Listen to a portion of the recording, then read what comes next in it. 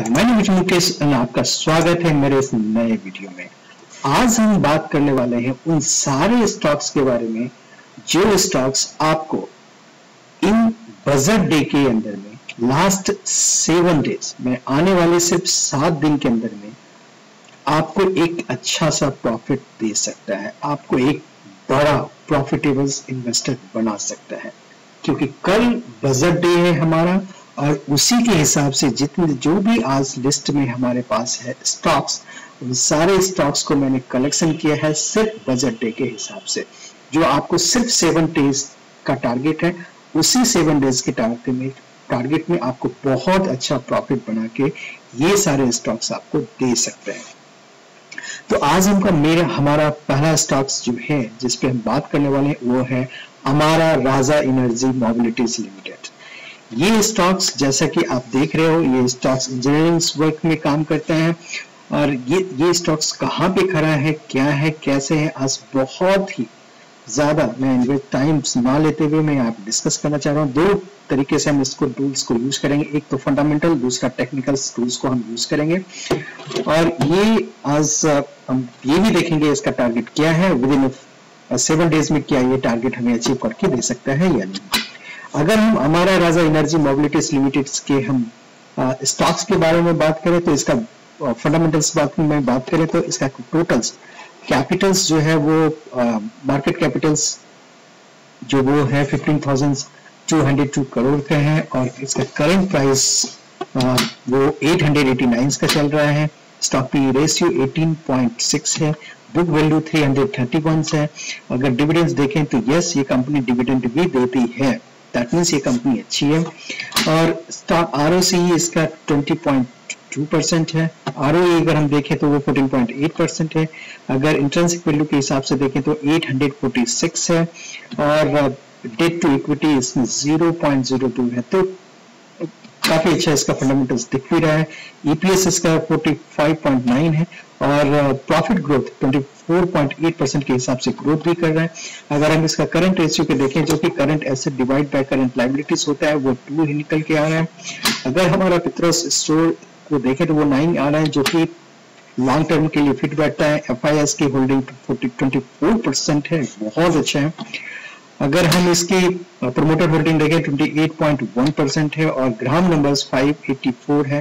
DIIs का holding देखें तो 17.9 है परसेंट है। और अगर हम इसका थोड़ा सा पब्लिक होल्डिंग भी देखें तो वो 30 परसेंट बनता है।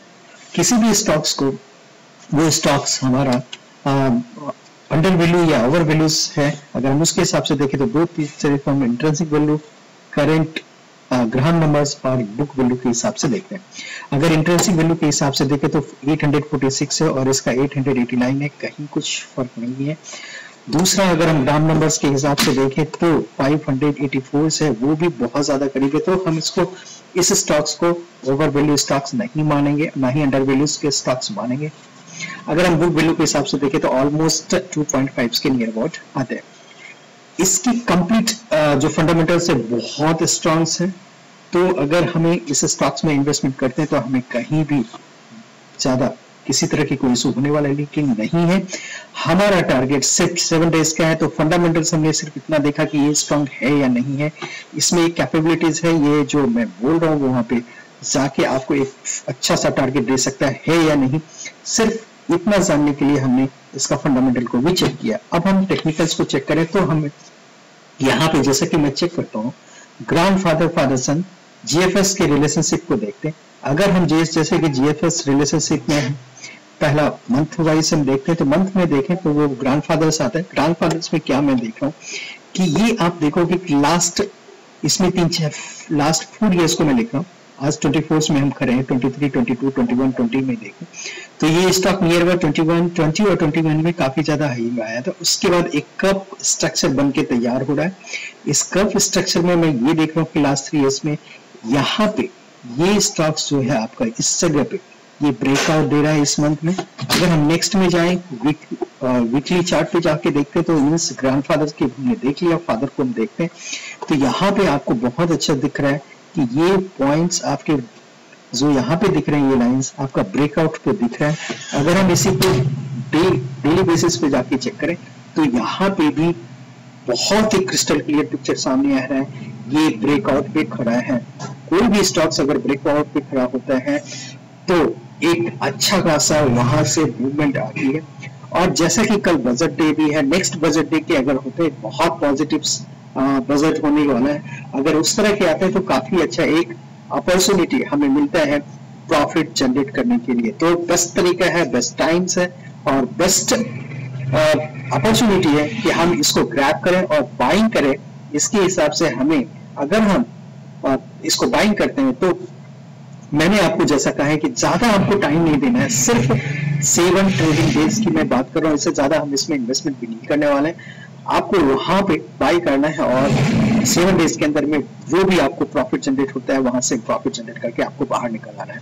हमें बस इतना ही करना है। दूसरा, सबसे ज़्यादा इंपॉर्टेंट ये है कि अगर आपके पास बहुत ज़्यादा, क्योंकि आप लोग को मैंने बहुत देखा है, लगातार मैं वीडियो पे देख रहा हूँ, पैनी स्टॉक पैनी स्टॉक पैनी स्टॉक मैं बस इतना ही कहना चाहता हूँ, बॉस आपके पास पैनी स्टॉक्स में कितना आप कर लोगे? पैनी स्टॉक्स में जाके बहुत ज़्यादा पीना आता है।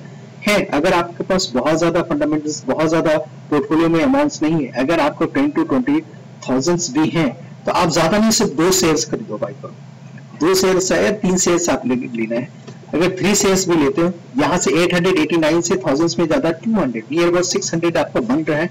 सिर्फ़ तीन शेयर बाय करने के बाद आपको जो बन रहा है seven month seven trading days में सिक्स हंड्रेड रुपीज़ आपके बन रहे हैं बहुत आसानी तरीके से। तो हमें ये करना चाहिए। बेस्ट वे है ये आपका अपना डिसीज़न भी हो सकते हैं, क्योंकि अगर हम इसका टारगेट देखें तो वन थाउज़ेंड है और होल्डिंग पीरियड से ट्रेडिंग डेज़ जो मैं दे रहा हूँ सेवन ट्रेडिंग डेज़ ओनली है। जो आपका इसमें 990 जैसे ही आता है और 990 से लेके 1000 के बीच में आपको प्रॉफिट बुक कर लेना है। अगर आपका प्रॉफिट 980 और 1000 के बीच में भी आता तो भी आप प्रॉफिट जनरेट करके आप वहाँ से निकल सकते हैं। ठीक है? आपको अगर लगता है कि नहीं, ये स्टॉक्स आगे भी जाना है तो बेस्ट ये होगा कि आप होल्ड करें, अपना एनालिसिस को भी चेक करें, कैसा लगता है तो डेफिनेटली आप वहाँ से आगे जा सकते हैं। अब रही मेरी बात कि आप मैं आप लोगों से एक चीज़ और कहना चाह रहा हूँ। आप हमारा वीडियो देखते तो ज़रूर है। आप उनको लाइक नहीं कर रहे हैं और ना ही सब्सक्राइब कर रहे हैं। तो मैं आप लोगों से रिक्वेस्ट करता हूँ कि प्लीज़ इसको लाइक ज़रूर करें सब्सक्राइब करें, क्योंकि आप लोगों के लिए बहुत ज़्यादा मेहनत होता है कि अलग अलग स्टॉक्स को ढूंढ के लाना जो ब्रेकआउट पे खड़ा है, जहाँ से आप एक अच्छा सा अपॉर्चुनिटी बना सकते हैं। एक अच्छा सा प्रॉफिटेबल इन्वेस्टर बन सकते हैं। तो बेस्ट तरीका है कि आप भी हमें सपोर्ट करें, मैं आप लोगों को सपोर्ट ज़रूर कर रहा हूँ और ज़रूर इनको लाइक करें। अगर आपको ये वीडियो अच्छा लगता है तो इसको लाइक करें सब्सक्राइब करें और बेल आइकन को ज़रूर दें थैंक यू